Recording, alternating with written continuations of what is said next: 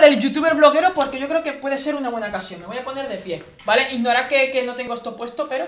A ver, no, es que no, no, no